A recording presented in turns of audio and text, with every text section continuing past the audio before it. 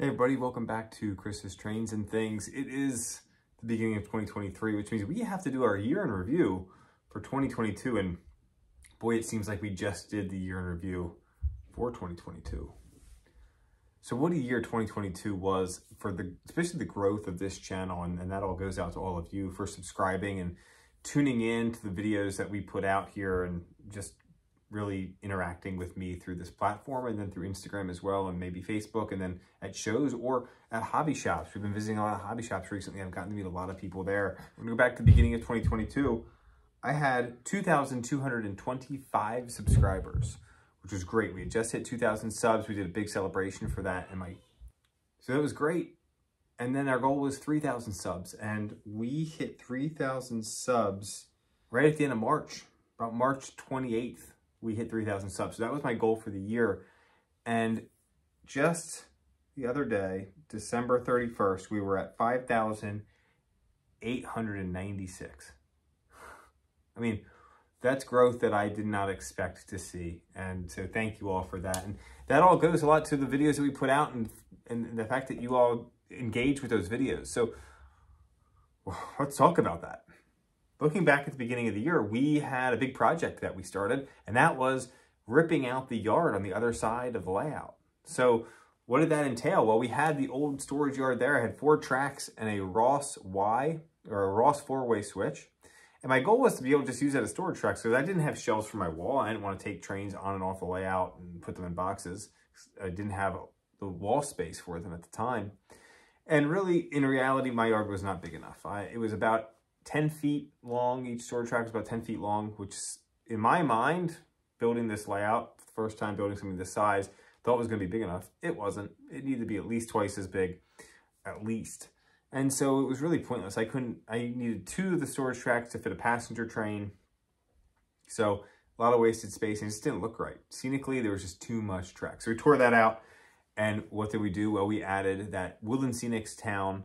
And that was really courtesy of the help from my friend Ted, who owns Cool Trains in Salunga, Lancaster. He was really great at dealing with my ADHD of just emailing him nightly and saying, hey, I need this building. Can we order this one? Hey, can we order this one? And he, he was just patient with me and helped get those buildings in stock so that I could purchase them from him. So thank you, Ted, for that. We then added our lower loop. So we then went down and we added our lower reversing loop and storage tracks down underneath the layout as well to really make this a much more dynamic layout and display. So that was all a ton of fun.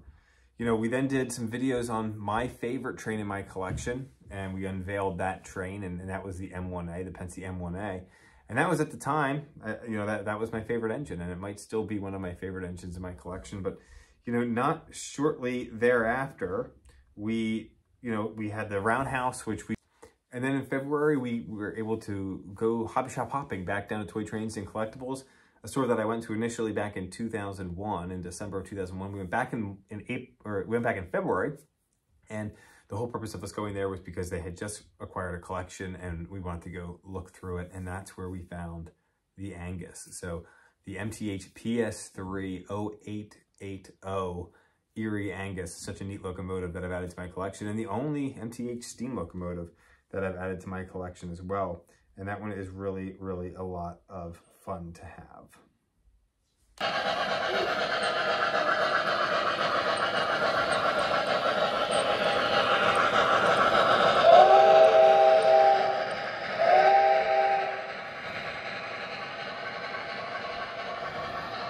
Back then, we we go into some some new Lionel things that came in, and I was able to pick up when I was at Toy Trains and Collectibles. I picked up the Pacemaker Freight set they had one left. There were not a lot of them available in any other hobby shops on the web. And so I snagged one while I was there and then had to pick up the Pacemaker Mohawk. So my first fantasy locomotive that I that I own in my collection, that red Pacemaker Mohawk stands out. It's one of our family favorites here and a fan favorite for people that come over the layout. So it's really great to have that locomotive and fun to run around the layout.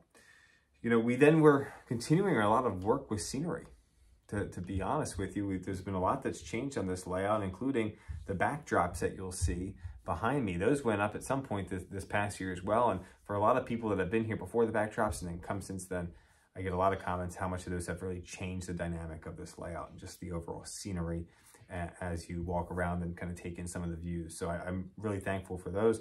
I purchased those from trainjunkies.com. Uh, William from Train Junkies was great to work with and helps get us hooked up with these. And they do a really nice job of just completing the scene.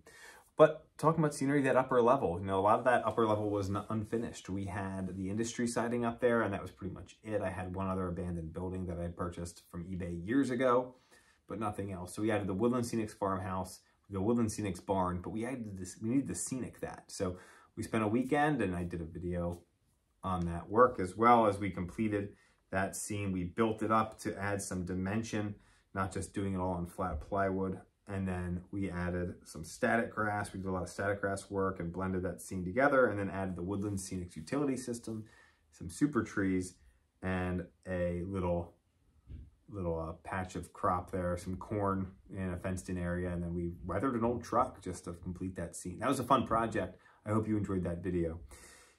You know, moving on, it was time for me to start beginning collaborating with others, not just other YouTubers, but some other folks within the industry. And so I was able to connect with Stu Rankin from the TCA.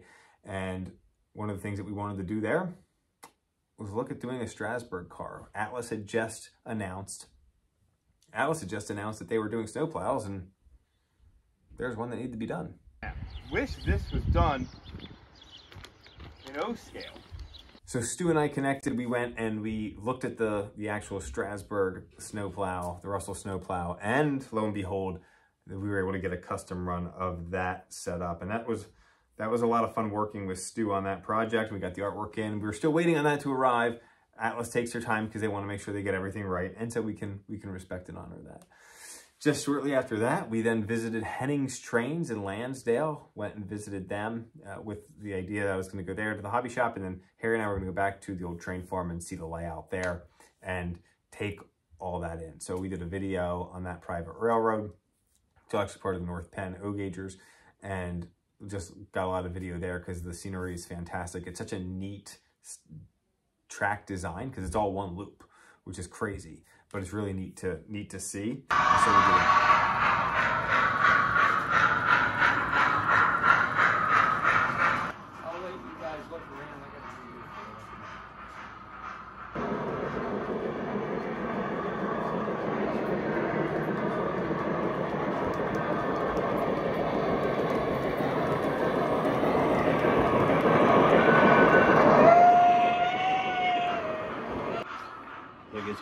partition and block?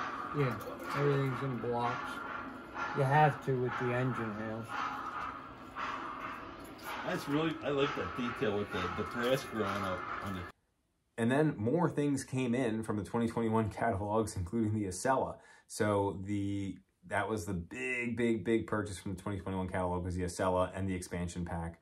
Wasn't initially getting the expansion pack, but I ended up adding that. So those arrived what an awesome set. It's massive. It takes up the entire wall display that I have when it's not on the layout. And then shortly thereafter, you know, I went to go visit my friend Chris and he had the Polar Express version. I was like, it's really nice. And we knew that there probably weren't a lot of those built. So we added the Polar Express version as well. How could you say no to that?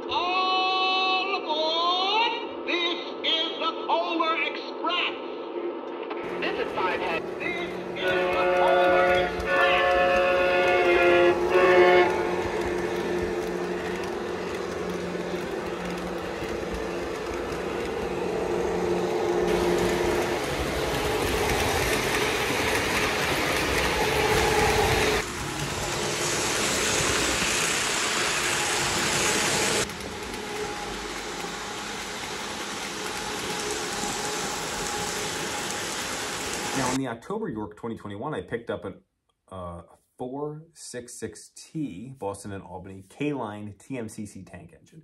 Now, that engine we brought back to layout, it didn't work.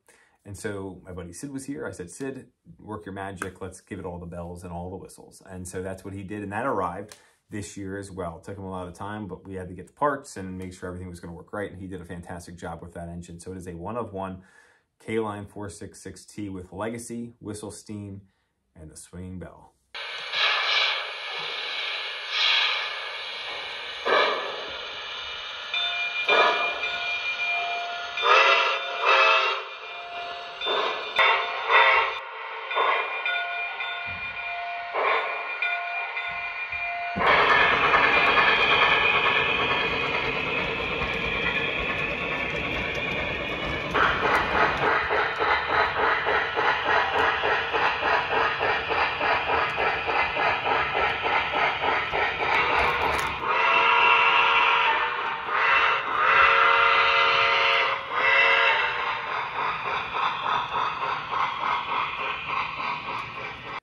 Time to go back to York. As always, York comes back around twice a year. So back to York again in April. We're only in April, folks. And we got to look around at some other great things from there. I ended up picking up a lot of big box cars at York. And so let's check out some of those giant box cars that we picked up. And lest we forget, the Broadway Limited set.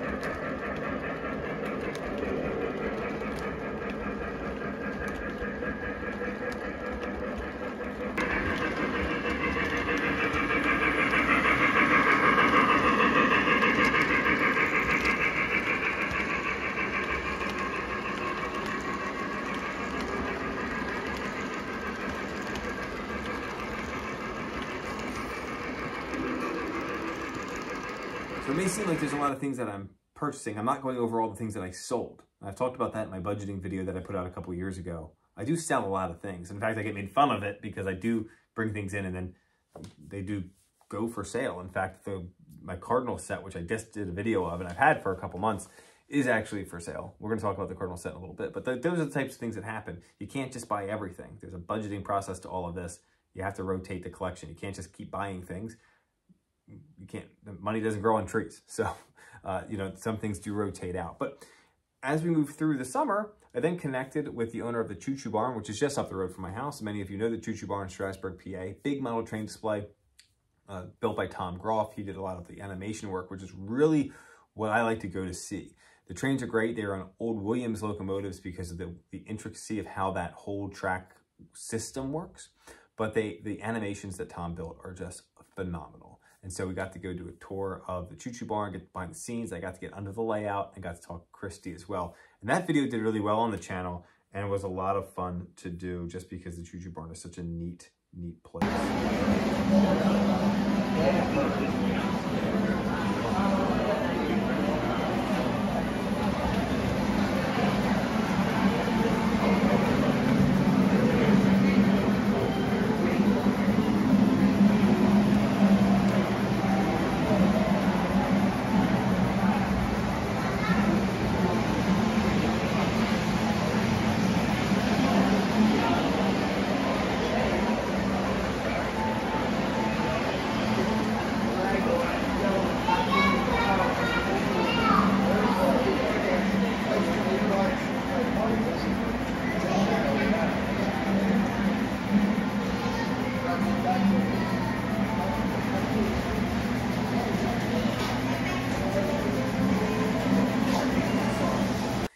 Was summertime and we went to Detroit.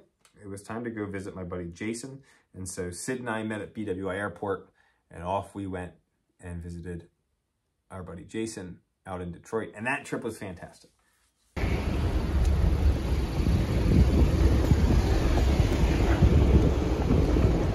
Ah! So on that trip, it was great because we got to go to a lot of layouts. We went to not only visit Jason and hang out with him, we went to Stockyard Express. We went to visit Norm Charbonneau's layout. We went to the Brownings, Trey Mandan and his dad's place to see their layout.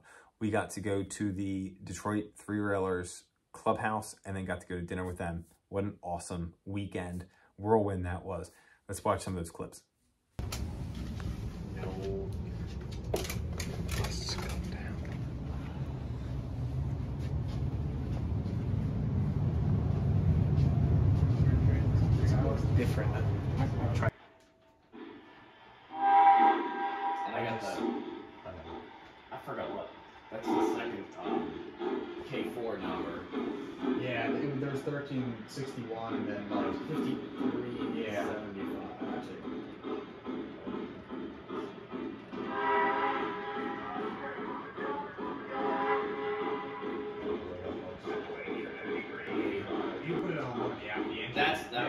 Yeah. that's when I built out the frame just so the cam could stick out.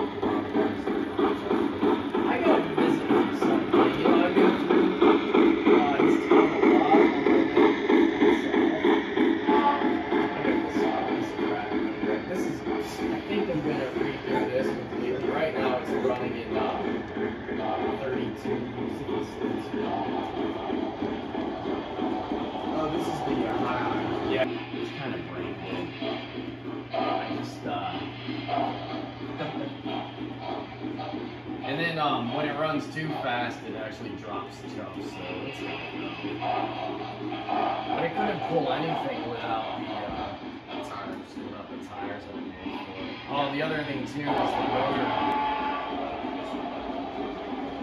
Yeah, I should have made it dirtier. I was thinking, um, every time I do a project,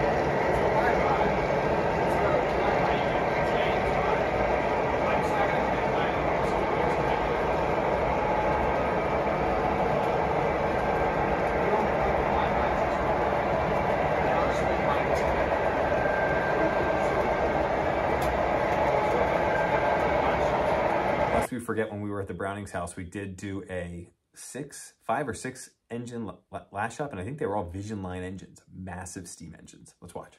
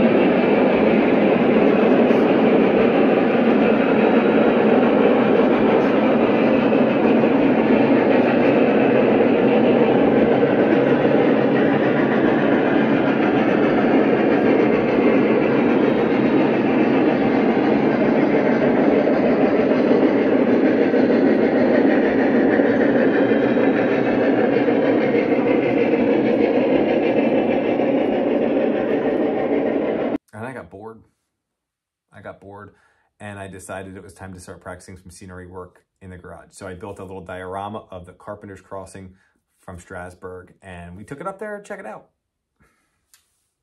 You can pull your computer of calling that is here is a giant building up to the grass of your swap show. And so you have rest away from just checking out. And then this is the side person. So on the side here, looking at it right up into the hill. And then actually a halfway. So off the road here and by. So I'm doing that piece now. And then we'll come back and we'll do the side here. All right, so I've got this is some base green and I've got um, like a dirt or dead foliage ground cover down here in the field and then at the base of this hill bringing out some super trees that I've had made up all right, so here we go. Here we have it. So this is the crossing at the crossing. I think it looks pretty good. What do you think? And then shout out to Mrs. Chris's Trains and Things because I was hanging out here at the house with my buddy Chris, RJ, and Sid, and we got to talking about the Trainapalooza, and lo and behold, my wife said I could go, which was awesome. So I got to go back to Detroit for Trainapalooza, which was great. So I was back at Jason's house and went a day early to help him get set up and help bring over the three railers layout. And then we just enjoyed lots of trains running at his place that day. Had a lot of people come over. That was a ton of fun. Let's check that out.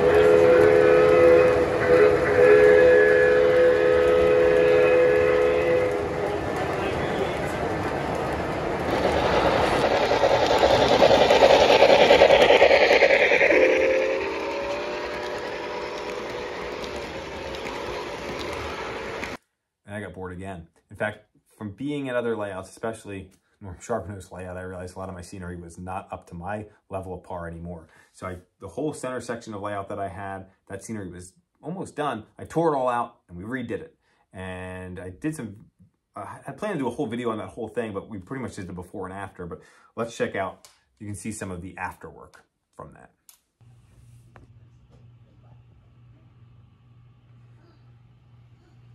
Didn't make a whole lot of sense for the station to be where it was, so we decided to bring it back over here.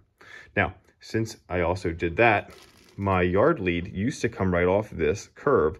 So I had this curve here. This was an 096 curve, and then I had uh, an 096 switch, and the um, the diverting was actually the main line. And if you went straight, it took you right into the turntable where the pacemaker Mohawk is.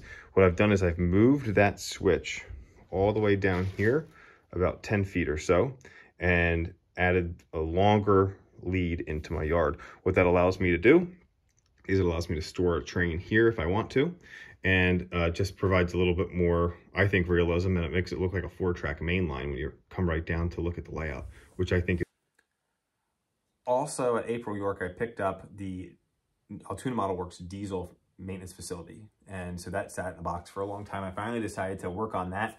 And so we did a build video on that and completed it. And it is a fantastic piece of the, the layout. In fact, I had to extend part of the layout so I could fit it on because when we tore this scenery out in the center of the layout, I moved my old corporate kit off and it wasn't going to fit there properly. So we had to add a new section of the layout behind the roundhouse to accompany or incorporate that diesel facility. But we did a whole build video. Let's check out a piece of that.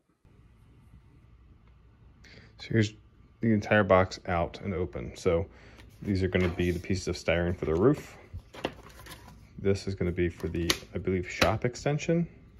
We've got the sidewalls here. There. So the trusses are all in place. I've got the building on its side. As you can see, what we're going to do now is we're going to take our white tacky glue And we're going to take our painted fascia here. Now we have the roofing in place. We're going to begin to put the concrete caps on, just like we have on the roundhouse. So I want to make sure that our joints are clean. We might have to come in here and just scrape some some dust out from the grout work. These And then we had fall York and I was able to pick up some of the SD45 from Lionel, powered unit and a super base unit. So let's bring them out.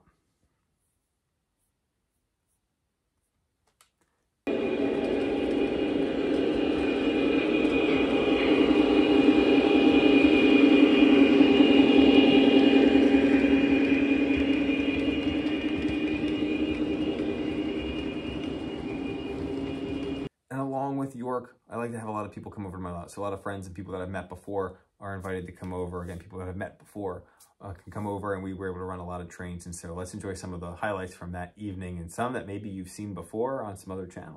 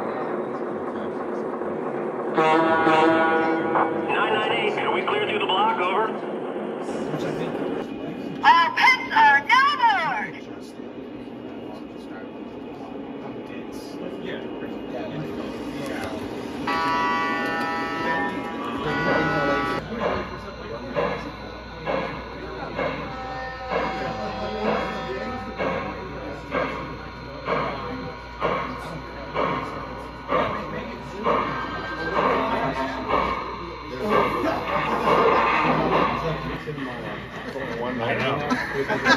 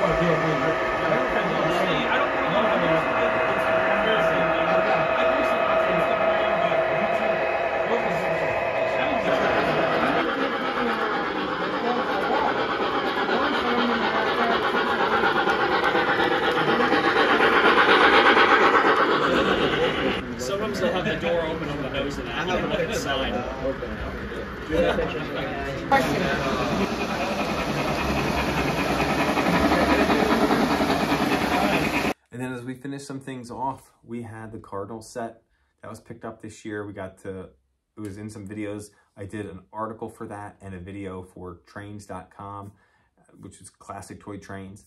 And we, that was highlighted in, for them. And then I did a running video with it a couple weeks ago.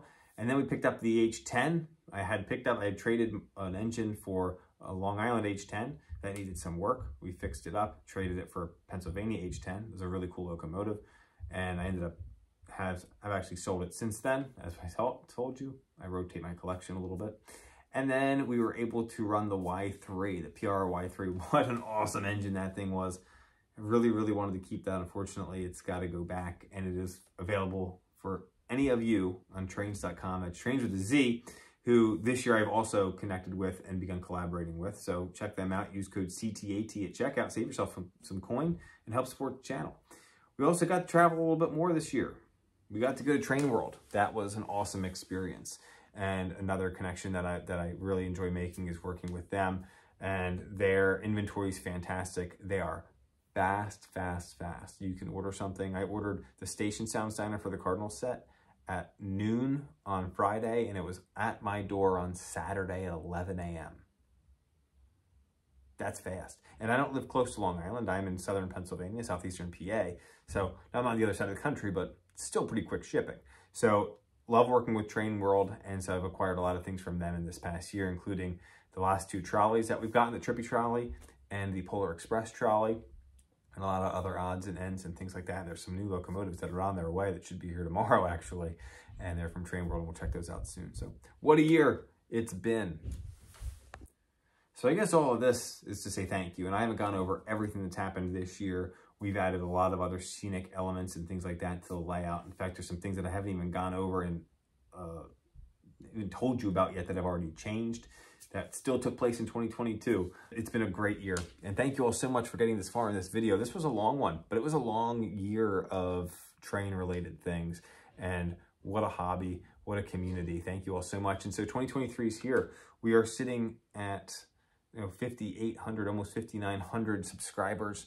So what's our goal for this year? Well, I didn't think we'd be this far. I would love to get to 8,000 subscribers. I, would, I think that's probably doable based on our growth rate.